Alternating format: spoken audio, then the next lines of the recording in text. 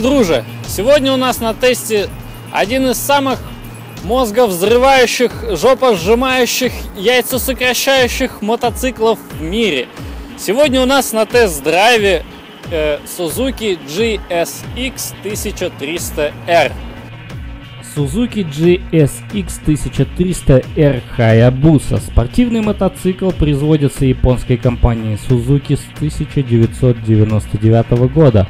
Сразу же завоевал признание как самый быстрый мотоцикл серийного производства в мире с максимальной скоростью 303-312 км в час – Хаябуса по-японски означает «сокол сапсан». Название этой птицы часто служит метафорой, обозначающей скорость, так как сапсан – самая быстрая птица в мире. Во время охоты она резко пикирует на жертву, развивая скорость 290-325 км в час. В частности, выбор названия был обусловлен тем, что сапсан обыкновенно охотятся на дроздов, и это Аллюзия отображает намерение производства Hayabusa отобрать звание самого быстрого серийного мотоцикла в мире у Honda CBR 1100XX Super Blackbird Super Дрозд. Скорость Hayabusa превзошла Super Blackbird на 10 миль в час, 16 км в час. С 1999 по, тысяч, э, по 2007 год производ, э, производилось первое поколение Hayabusa – в 2008 году представлено второе поколение. Наверное, Suzuki Hayabusa это тот мотоцикл, у которого нет конкурентов. Конечно, есть мотоциклы, сравнимые с ним по характеристикам, но у Hayabusa, помимо впечатляющих показателей, есть некий свой неповторимый стиль, даже, наверное, душа. И тот, кто полюбит этот гипербайк, однажды уже вряд ли изменит свои предпочтения – тем более, что с возрастом Хаябуса, в отличие от девушек, становится только краше и лучше. Вот и новая модель Хаябуса в 2008 году вновь впечатляет верных поклонников и завоевывает новых. Suzuki GSX 1300R стал круче, чем когда-либо. Да, Suzuki Hayabusa заставляет, с каждым разом заставляет сердце биться все быстрее, при том, что даже среди владельцев первой модели гипербайка – Хаябуса никто не мог пожаловаться на нехватку мощности и тяги. Тем не менее, новый двигатель Хаябуса превосходит самые смелые ожидания. Двигатель Хаябуса был переделан полностью. Это позволило достичь большей мощности, плюс 20 лошадиных сил, что соответственно значительно улучшило динамику гипербайка – также были значительно модифицированы подвеска и рама, обеспечивающие теперь гораздо большую жесткость на изгиб и кручение, что позволило добиться дополнительного удобства в управлении мотоциклом. Дизайн Hayabusa 2008 года претерпел серьезную переработку, но при этом сохранил фамильные черты и все так же узнаваем. Hayabusa по-прежнему невозможно перепутать с другими мотоциклами, он уникален в своем роде – кстати, новый дизайн не только красота, а в первую очередь это более потрясающая обтекаемость, обеспечивающая мотоциклу еще лучшую аэродинамику. Напомним, что когда Свет впервые увидел Hayabusa в 1999 году, этот мотоцикл вызвал жаркие споры благодаря двум до сих пор придающим ему уникальность чертам – это весьма противоречивый аэродинамический облик и способность затмить собой практически любой другой мотоцикл. Но после того, как практика показала, что этот мотоцикл пролетает 400-метровку за 9 секунд, а его максимальная скорость более 300 км в час, на насмешки в адрес Hayabusa прекратились. И не просто прекратились. Suzuki Hayabusa многим стал рассматриваться как самый крутой спортбайк, который только можно встретить на улице. Спустя несколько лет, да еще в связи с соглашением производителя об ограничении максимальной скорости до 186 миль в час, это примерно 300 км в час, Suzuki Hayabusa в 2006 году был потеснен спортбайком Kawasaki ZX14. Новый Kawasaki оказался мощнее и быстрее Hayabusa, а также мягче и представлял пилоту больший комфорт. Но появление нового конкурента не загнало Хаябуса в тень.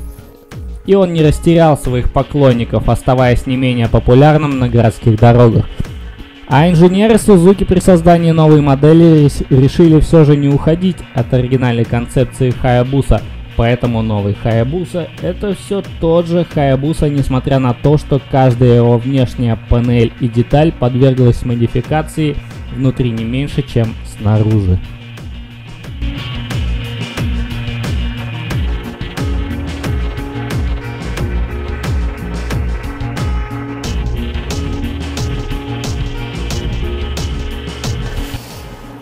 Простонародье буса, буся, хаябуса. Вообще слово хаябуса переводится как сокол. Немножко лирического отступления. Э, компания Honda, основанная Соичиром Honda, когда-то давным-давно завещала быть одной из самых быстрых. Ну, завещала быть самой быстрой. И они себя позиционировали как самые быстрые. И на свет родился Дрозд. Это был CBR 1100XX. Э, в простонародье Дрозд. Это был э, спорт, э, ну что-то между спорт туристический мотоцикл со спортивным э, движком, с высокой крутилкой, э, выдающая на тот момент колоссальные вообще э, характеристики, которые рвали вообще все шаблоны по тем временам. Взглянув на такую хуйню, инженеры Сузуки э, сели за чертежи э, с целью, ну, надрать им задницу, как так, нас сделала какая-то Honda, вот мы до этого все делали как бы литровые спортивные мотоциклы, классические, как и все. А тут они оп и вышли за рамки дозволенного. И так родился на свет Хаябуса. Э, в чем маркетинговый прикол? Э, сокол, э, дрозд – это и есть добыча сокола. То есть сокол питается дроздами. В результате, конечно, Honda на этот шаг ничем не отозвалась, они просто слились. Но эти дрязги у них продлились недолго, так скажем, Honda слилась, но в результате они оба все равно соснули у Кавасаки, но это уже совсем другая история. Не будем о грустном. Итак, Хаябуса. Чем примечателен этот байк? Это гиперспорт. То есть э, это квинтэссенция спорта, скорости, мощи, дури. Здесь 198 дичайших лошадей. Э, Крутящий момент не такой высокий, как, например, на, на том же новом VMAX, э, но здесь настолько хорошо подобраны передаточные числа коробки с мощностью движка, что потенци потенциал мотоцикла, если снять ограничитель, э, который был введен в связи с японскими соглашениями, чтобы мотоциклы не ездили гиперспорты быстрее, чем 300 км в час, этот мотоцикл разменивает 4 сотни. С минимальными поднастройками разменивает 4 сотни. Э, в чем прикол этого мотоцикла? Прикол в том, что в принципе он нахуй никому не нужен. Ну, реально вот в городе ты никогда в жизни не сможешь использовать даже 50% его потенциала. То есть, э, ну, пусть в черте города ты разгонишься там до 150, ну, максимум до 180 километров в час, там, в трех светофорах. Но больше 200 уже тяжеловато. На трассе там, ну, 250 максимум. По нашим дорогам ехать выше, там, 250 это, ну, неразумно, так, мягко скажем. Э, поэтому смысл мотоцикла в чем? Смысл мотоцикла в том, что показать, что у тебя, ну, как минимум, чугунные литые яйца. То есть ездить на нем по городу некомфортно, неудобно, спина болит, затекает, ноги болят, руки болят. Но зато ты чувствуешь, зато, что под тобой не просто там 230, сколько он, кстати, по-моему, 230 или 260, я не помню точно, килограмм железного мяса, Э, плюс такая дурь, что ты вот просто оп, открутишь чуть-чуть и все, порвешь любого чувака. Это раз. Два. Это атмосфера Хаябусы. Хаябуса вообще мотоцикл заметный во всех кругах, во всех отношениях, во всех сферах, во всех мотообществах вообще, которые, которые только возможно. Эту жопу, например, ты вот едя по трассе, по трассе, увидев вот эту жопу, сразу смело можешь сказать, это Сузуки Хаябуса. Или спереди, если ее увидишь. Есть какие-то очертания классического джиксера Сузучева, но все равно по, по выемкам там классическим четко всегда сможешь сказать, что это Хаябуса. Этот мотоцикл ты не спутаешь ни с чем. И вот эта атмосфера, это, можно сказать, клубная атмосфера. Этот мотоцикл покупает э, именно больные душой люди, которые э, вот стоят раз там два прокатиться на этом мотоцикле, если это тебе понравится, ты влюбился в него окончательно. Допустим, беря в расчет э, людей, которые ну, там, часто меняют мотоциклы в поисках чего-то своего. А вот есть мотоцикл, на который садишься, даже без мысли того, что ну вот я сейчас покатаюсь там два месяца и продам нахуй сяду на другой мотоцикл. Ты садишься и все. Э, у тебя болят руки, ноги, спина, тебе неудобно, дискомфортно, ты ездишь. Э, но вот этот дух, вот эта атмосфера, которая наполнена вождением этого мотоцикла, это уважение, этот респект, который ты чувствуешь на дороге, ты сразу в него влюбляешься, и тебе больше ничего не надо. Это очень хороший, хорошо собранный, качественный мотоцикл. Вот это конкретно модель. Это уже рестайлинг. Э, восьмого года. Инжектор 1340 кубических сантиметров. 198 лошадей. 300, э, ну, технические характеристики я вам в исторической справке все расскажу. Сейчас речь не об этом.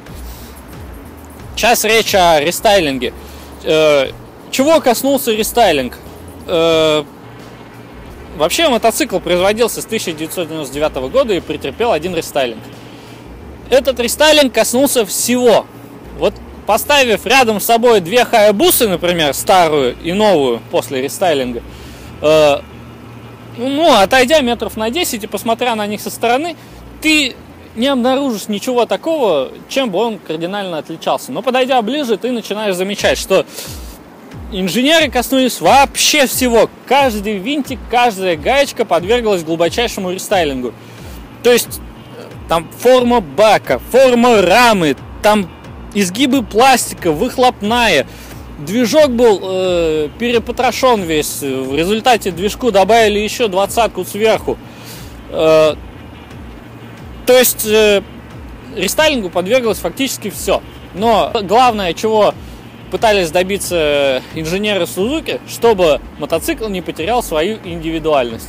И они этого добились. То есть мотоцикл по-прежнему остался Хаябусой. Э, все узнают, что это Хаябуса.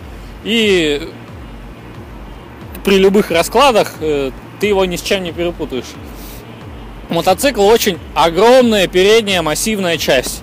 У классических спортов, например, передняя часть намного ближе к седаку, э, ручки не так далеко вынесены, клепоны поуже, массивного передка вот такого нету, обычно он заужен уже сразу после верхних траверс, а здесь он выходит вперед ну, больше, чем на полметра, сантиметров на 70, наверное. Вот. Так, кстати говоря, мы снимаем со второго дубля. Два дня назад э, мы снимали все то же самое, в то же самое время с фактически в той же самой обстановке, но у нас э, сдох микрофон. Съемки были классные, здорово, тут поставили мотоциклы тоже, освещали, но у нас сдох микрофон, и нам пришлось переснимать. Так что я сейчас не подготовлен, но вот это все говорю, возможно, я что-то...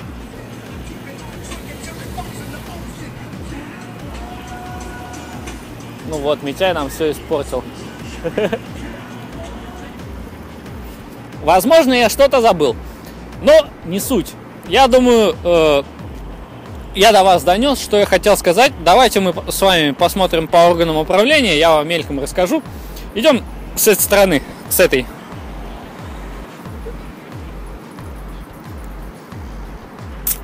Снимай приборку.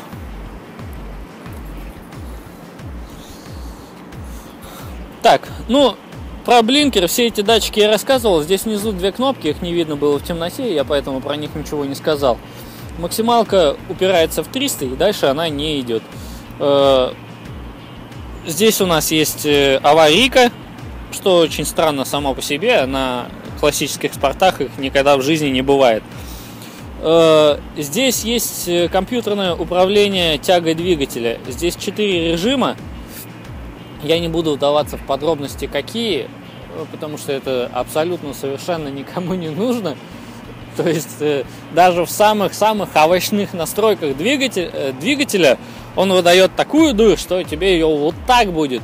Зачем там всякие суперспорты, если это вот ты выехал на кольцо, и там тебе надо въебать как следует. Э, ну, ты там можешь побаловаться с этими настройками, а так смысла в них нету. Остальное все классическое, классический классический ключик. С правой стороны задний контур тормоза, передняя гидравлика, сцепление гидравлика, лапка переключения скоростей. Ничего сверхъестественного тут нету. В принципе, в принципе здесь максимальный функционал, максимальный комфортный функционал, который и приветствуется большинства любителей классических мотоциклов. Вот. Да, еще один момент забыл сказать про стоимость. Этот мотоцикл, так как он очень качественный, так как он уникальный в своем классе, так как он очень быстрый, технологичный, вообще такой весь ня-ня-ня, он реально дорогой.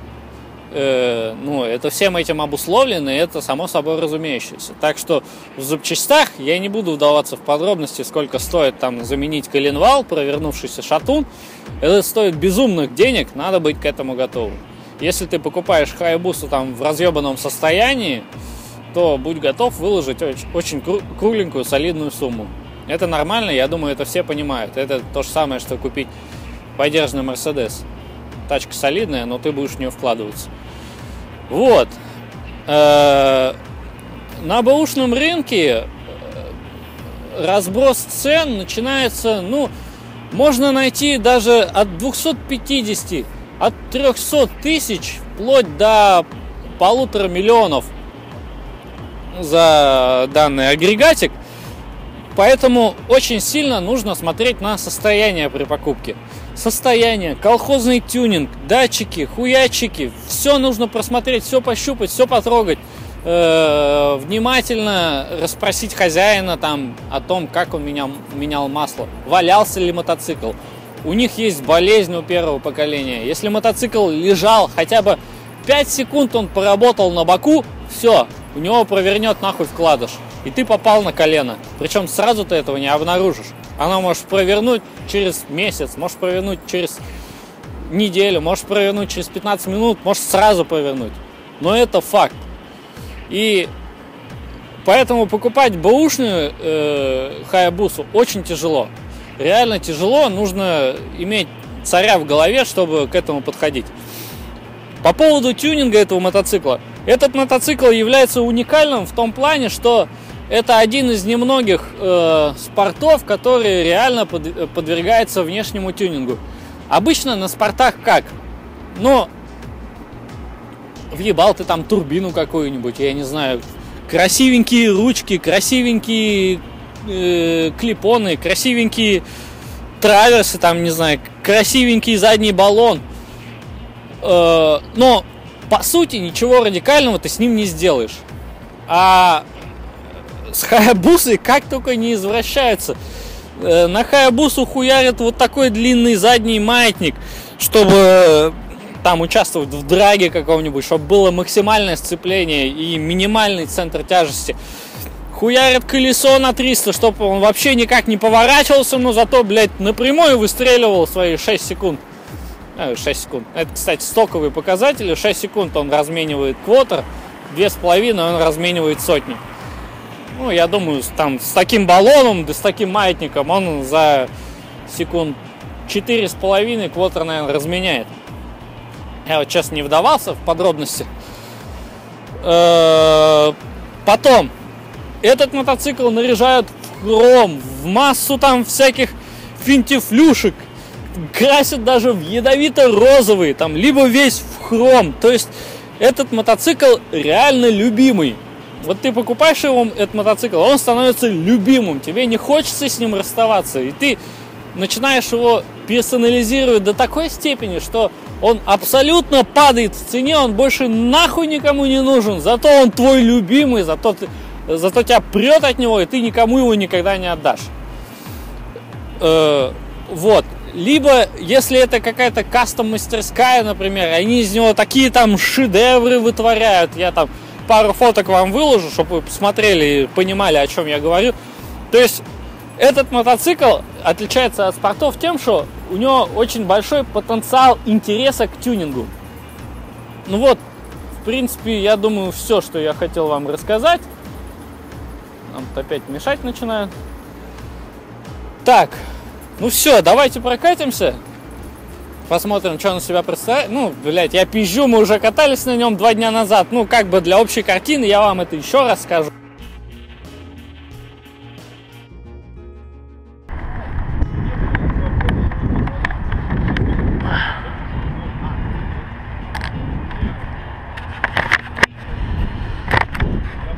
Посмотрим, на что способен сокол.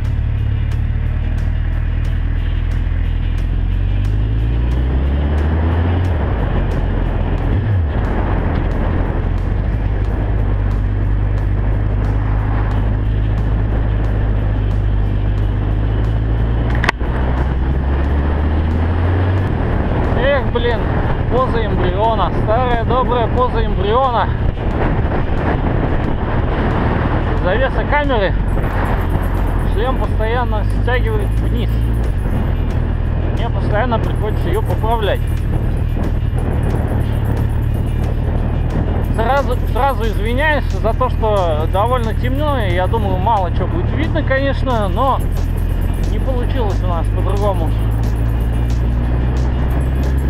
А, блин, сука, холодно. А, вашу мать. Ладно. Надо терпеть.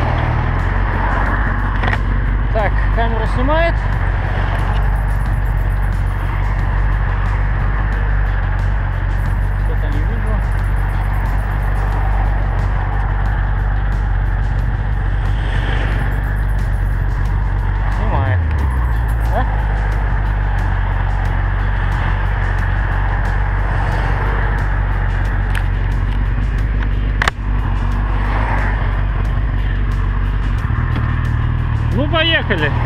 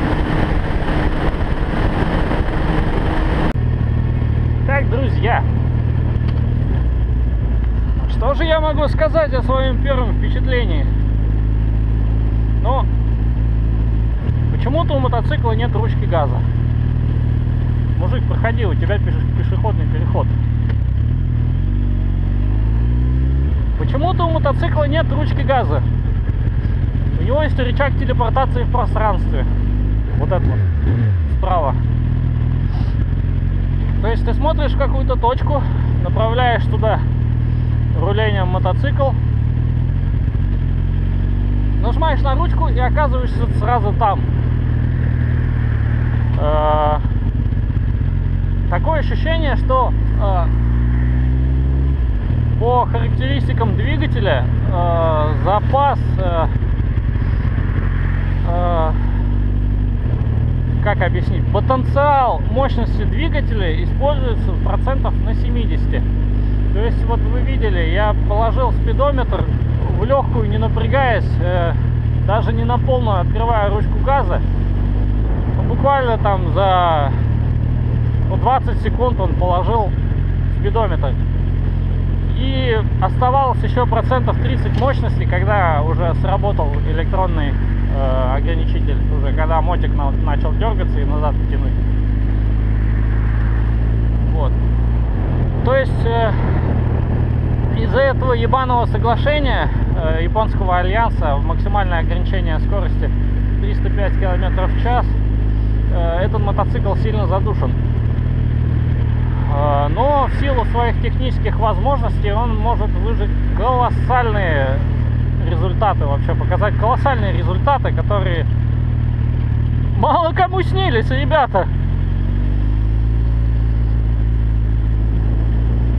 Эта штуковина реально разрывает шаблоны. Э, свыше 200 км в час создается иллюзия э,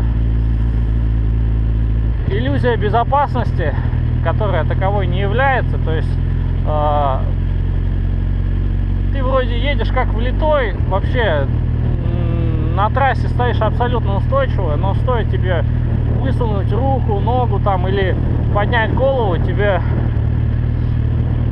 ее сразу тут же оторвет потоком воздуха. Почему такого нету в других э, спортах? Потому что там пластик не настолько э, объемный, то есть там пластик, э, передок довольно узкий. Если здесь он очень сильно объемный и поток воздуха хорошо очень обтекает тебя со всех сторон, то есть при малейшем выставлении там ногу, руку за габаритные точки пластика сразу резкий срыв и можно резко потерять управление, можно там слететь, нога может сорваться с подножки. То есть, ну, создается иллюзия ложной безопасности. Да, конечно, 320 он положил, положит 350, 380, 400 положит без проблем, ты будешь чувствовать себя как влитой. Но не надо забывать, что ты едешь на очень высоких скоростях, и если ты вмажешься в машину встречного потока, ты даже тебя даже, наверное, в пакет из-под картошки собрать не смогут. Вот так вот. Рулится, э, ну, для спорта такого класса рулится на твердую четверочку. Э, посадка, конечно, архи неудобная. Для поездки в городе, конечно, но э, на высоких скоростях это именно то, что вы хотите увидеть на подобного класса техники. Довольно холодно на улице, прохладно. Э, чувствуется прямо на шестой передаче полный газ даешь и начинает буксовать заднее колесо. То есть ну, я знаю, мне надо жрать, я худой, надо толстеть, но, э, тем не менее, э, потенциал мощности э, очень большой, очень большой, крайне большой, большой настолько, что люди, садясь на этот мотоцикл, зачастую просто не осознают, что они имеют у себя под задницей и допускают много ошибок. А этот мотоцикл ошибок не прощает вообще. Любая ошибка заканчивается травмами либо смертью. Как ни прискорбно, но это так. Э, ошибок этот мотоцикл прощать не умеет. Потому что это чисто заряженный на скорость болит. Тут у нас из приборок уровень топлива, э, тахометр, блинкер, Э, блинкер срабатывает примерно на 10 тысяч оборотах, то есть показывает, когда нужно переключать скорость. Э, датчик э, включенной передачи, датчик что-то барахлит. Всю дорогу он мне показывал, вот я сейчас поставил первую, он показывает нейтралку. Может, на заглушенном, конечно, ну ладно, не суть.